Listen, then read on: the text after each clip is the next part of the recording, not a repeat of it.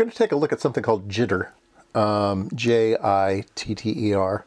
And I have a 555 timer here, and I'm going to show its jitter on the oscilloscope over here. Sorry, it's a little off kilter there, but you get the idea. Um, so I'm triggering on the waveform and then zooming in. So right now, the trigger um, is uh, way over over here somewhere. It's 72 milliseconds that way, okay? And uh, so we are at five microseconds per division, but the first trigger is way over there. And so the first trigger is going to look really, really good.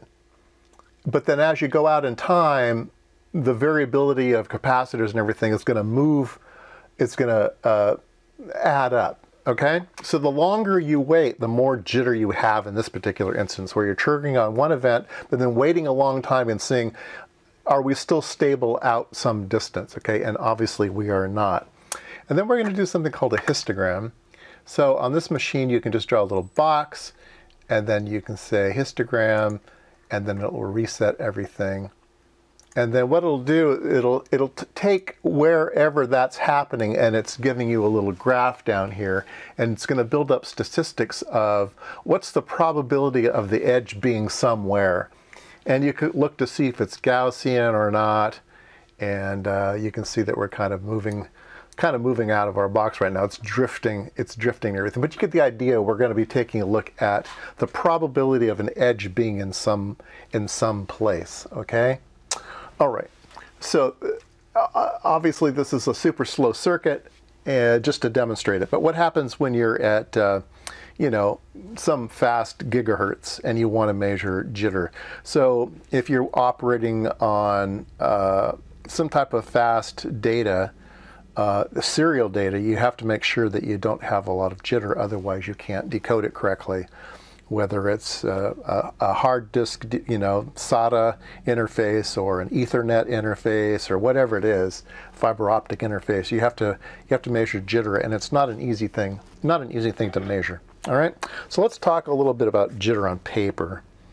So I found a couple good papers, um, app notes from uh, Keysight. One's called Jitter Analysis for a particular oscilloscope, but um, it talks about uh, it talks about jitter where you have an edge that goes back and forth and then you draw the little box and you do the little waveformy thing. So this is exactly what we just did on on my uh, on my my HD3. Um, sometimes uh, you have a, a, a strange statistics and that's if your jitter uh, varies with a sine wave. A sine, the integral of a sine wave is going to look something like this, where uh, the sine wave goes up and then it kind of stays there and then it comes down, right? I mean, it goes up and down, up and down. But if you think about it, it stays in the up position a lot longer than it stays in the in the in the transition. The transitions are fast and then it kind of stays around for a while. And that's what we see here is that the transition time, it's about the equal probability there, but there's more probability of it being on this edge or more probability of it being on this edge. Now, why would you have jitter that's a function of a sine wave. Well, let's say that you have a jitter, you have a 555 timer and you have ripple on the power supply. So the ripple on the power supply is sinusoidal. That ripple, that voltage ripple, can then cause your oscillations to vary uh, with that with that VCC. And then you'll get some condition like this where it's actually induced by ripple on your power supply. All right. And then it talks about other things. So let's let's uh, look at something else. So this is a nice uh, diagram here of jitter in total. So there's something called uh, JT, uh, TJ, which is total jitter. So what is jitter made out of? Well, we talked about periodic jitter just now. Here's periodic jitter, PJ which is uh, a function of something going on that's periodic. This totally random jitter just because. That's called RJ, random jitter. Periodic jitter can be uh, some sub-rate jitter, which we just talked about. Maybe your power supply is rippling. And so there's some sub-frequency that's causing the modulation that causes the sub-rate jitter. Or the maybe your power supply is just randomly changing for whatever reason. Then you'll have uncorrelated um, PJ. Uh, then the data itself, sometimes maybe there's differences between different bit patterns and stuff, and you'll you'll get a deterministic jitter DJ, which has to do with what is the data that you're sending out. Data dependent jitter DDJ, or symbol to symbol data in, in a serial chain. There might be symbols being sent, and some symbols are jittery, uh, different than other symbols. Uh, anyway, it gets complicated at these at these really fast things. So there's there's a data-dependent jitter, which is composed of intersymbol, intersymbol interference or duty cycle distortion, DDs. So it's all of these acronyms in here and all of this, all of this stuff. All right. So uh, let's go over to my new box and take a look at what it does as a jitter tool. Okay, um, we are going to be taking a look at this thing. It is just a 125 megahertz canned oscillator in a little box. It's just a TTL 125 megahertz. Um, and we're going to be looking at the jitter on this oscilloscope, the, the jitter mode. Okay, uh, scope mode is just going to look like a square wave, uh, but in jitter mode, um, so in jitter mode, whenever you enter jitter mode, it's going to look at the incoming signal, it's going to automatically scale it, it's going to automatically detect, a, it's going to um, do a, a, a, clock recovery, it's going to do uh, bit patterns and everything, and it's going to trigger on that thing. So you build up a uh, model of the incoming waveform over a thousand data points. And then it says that is the clock. And then it's going to reference any jitter from that clock that it generates. And it will give you uh, it will give you data. Okay? It's limited to anything greater than 50 megahertz so you can't look at anything below 50 megahertz um, so I can't look at something like a rubidium standard that's 10 megahertz. I can't do that. But this is a little clock at 125, and we can take we can take a look at that. Okay.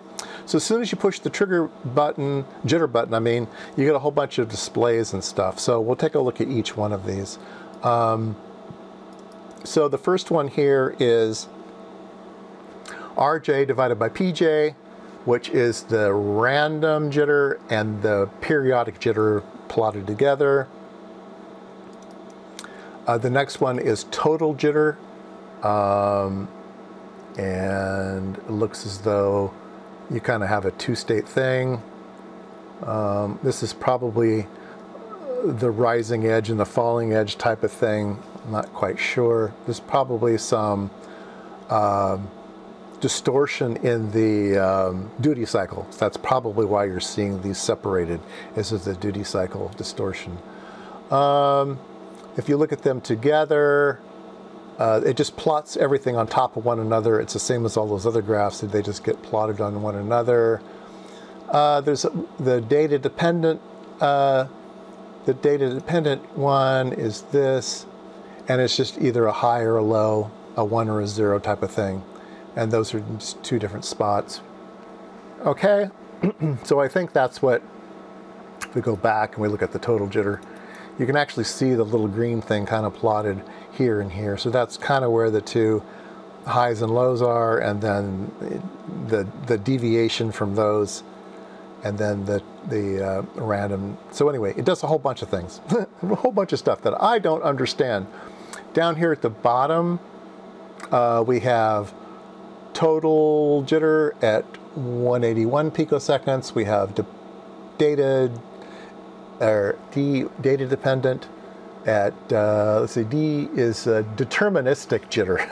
deterministic jitter at 140, random at 3, periodic at 34, data dependent at 111, data, no, duty cycle distortion at uh, 111. That's probably why these are separated, the duty cycle distortion.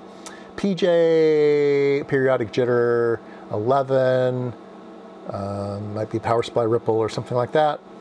And uh, the inter, what's the ISS? Uh, inter-symbol interference. We don't have any symbols, so that's zero.